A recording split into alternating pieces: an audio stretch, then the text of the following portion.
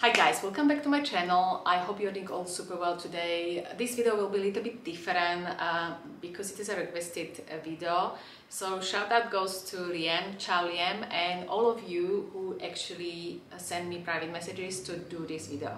We are gonna to talk about my daily routine, diet and exercise. So guys, if you are interested, please keep watching.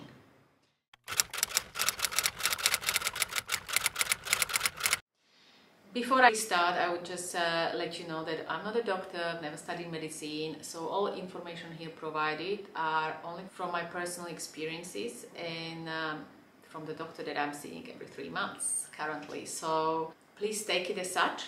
And also, before I tell you uh, my current situation, I would just go a little bit back so you get an insight of why am I at the stage where I am, because otherwise it doesn't make sense.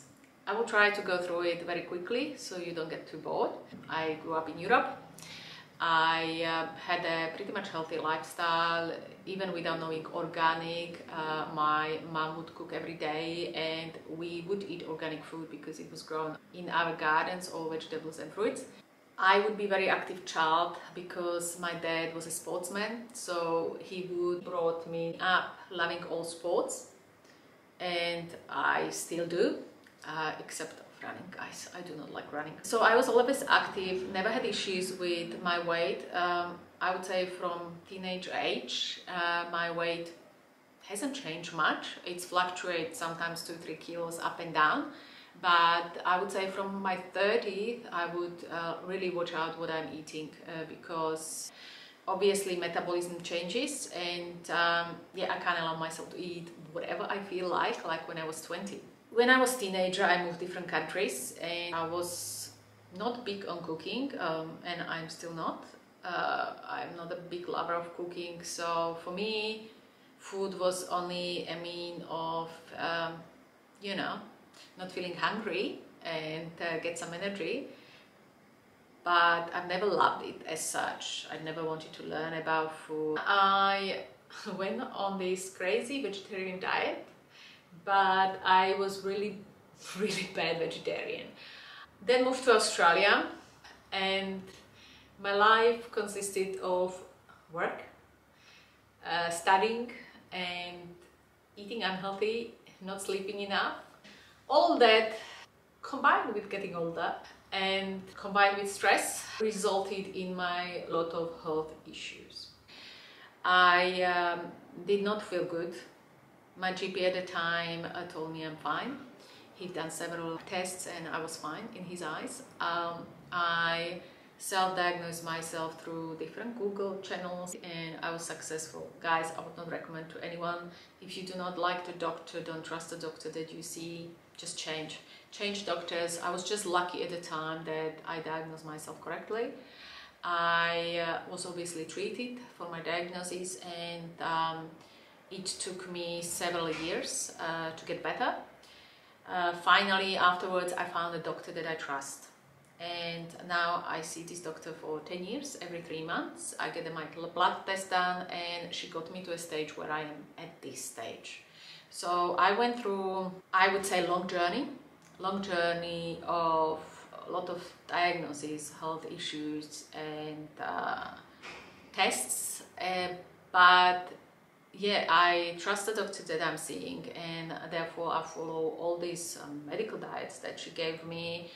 Uh, I was on a lot of supplements, uh, whatever medication that you can dream of, I would say. But you know what? I started to feel better, so I knew that there is um, a light at the end of the tunnel. The doctor taught me a lot of things as well. I went through different medical diet. Um, and at one point I lost too much weight and I do not like to be very very skinny. After the diet I tried to put on weight again. So I found in my life a weight that I like and I'm comfortable, happy at and I think uh, every single person should uh, set up their own goal uh, and they should know their own weight. I mean, we are all different and we feel differently in our own skin. For me, I do not like put on weight because um, all my knees and ankles start hurting, so I control what I eat. when I started to have an energy, obviously I started to exercise again because um, when my health started to deteriorate, I really did not have an energy to exercise. Um, I was living at a place that was a swimming pool, so I would swim every night for an hour. I would do long walks. I don't know if you watched my previous videos, but I mentioned several times that I had a few surgeries and uh, I unfortunately can't do all sports that I love, uh, at least not to the level that I used to, uh, but I still enjoyed some of them. But I found out that uh, Pilates Reformer is the right sport for me to do at this stage in my life. Since I have a lot of lower back issues, it really strengthens your core because it builds up your muscles and I've been doing now Pilates Reformer on and off for like 13 years and I love it. I cannot really live without it because as soon as I stop my muscles just decline and I start feeling ache and pain and it's just not good. So I do Pilates Reformer four times a week. I used to do it every day, then the muscles build up too much and I just don't like it on females, but I attend Pilates Reformer class morning. I love to wake up, have a cup of coffee and go and uh, have my morning exercise. I feel much more energized through the day. Uh, and I try once a week to do long walks as I live close to the beach. I love beach, I love water. So once a week I try to go for long walks and that's it. I don't do really much more than here and there swimming and you know like winter sports, skiing and uh, other different sports but this is the one that I do regularly. The Pilates Reformer is amazing if you need to strengthen your core which support your back. I love it. It really helped me, especially with my issues. Uh, obviously, I had few surgeries, so it's always like on and off. When I have a surgery, two months I am usually off, and then you have to go back, which is really hard, but it always pays off. I am trying to follow a healthier lifestyle and diet. Through the whole journey with my doctor, I had to change uh, to all organic products. I um, am not using any longer the regular perfumes. If I want, I do all the essential oils, but just seldom. And no deodorants. I um, am using organic shampoo, conditioner. I mean, these days organic is very well uh, known. Australia, unfortunately, marks product organics that are not really 100% organic. So I had to do a lot of research and um, I found my cosmetics that I'm happy with. I found other products that I'm happy with, but obviously I did my journey and I went through so many of them. Each of us is different, so you have to find your own products that you are happy with. My whole journey was uh, pretty long, guys. I mean, I'm not gonna go into details, but it was quite long. But um, I'm happy where I am at this stage uh, with my exercise. Uh, I feel really good.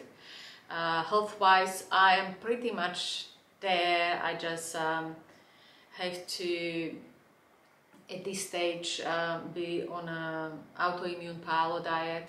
You can read about it. It's um, a long story, but I always try to eat as fresh food as possible. So I'm not big on breakfast, so usually I have just piece of fruit in the morning and afternoon and I've got two meals a day, lunch and dinner. Uh, that consists of lean meat or fish with vegetables. Uh, I used to eat um, rice, potatoes, but obviously with this autoimmune paleo diet, I can no longer eat it, but it will be not for the rest of my life. It's just a little bit longer process. You can read about it if you want.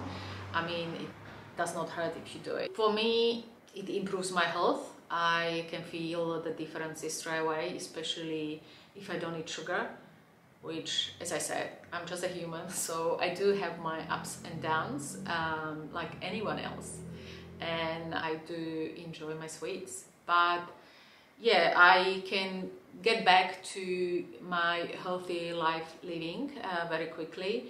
I'm quite strong-willed, but yes, guys, I did have a long journey I went through lots of ups and downs because sometimes it is frustrating if you don't see the results straight away, but never give up. Never give up because at the end it is worth it. The difference, if you would see me, let's say 10 years ago when I started seeing the doctor and now, is enormous. And when I just look at that, it always gives me strength to continue.